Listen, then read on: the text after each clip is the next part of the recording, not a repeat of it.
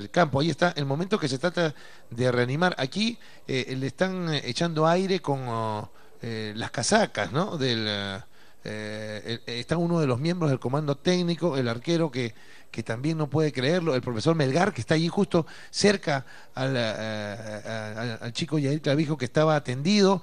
Allí llega justamente la ambulancia de Urcos y trata de reanimársele. En ese, en ese mismo momento se nota a los médicos del eh, Club Sporting eh, Cristal intentando reanimarlos con eh, los golpes eh, característicos en el pecho, pero no responde eh, Yair. Aquí vamos a ver, miren, observen a, lo- a los médicos que comienzan a, a desesperarse ya un poco al notar que no hay reacción por parte del jugador de Sporting eh, Cristal. Ahí está él extendido en el centro del campo.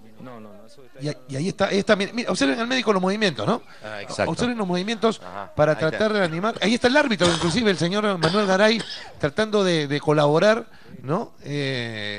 Pero lamentablemente no responde eh, Yair Clavijo y eh, ha dejado de existir. Lamentable noticia para el fútbol peruano hoy, domingo 21 de julio, por la fecha número 26 del torneo descentralizado.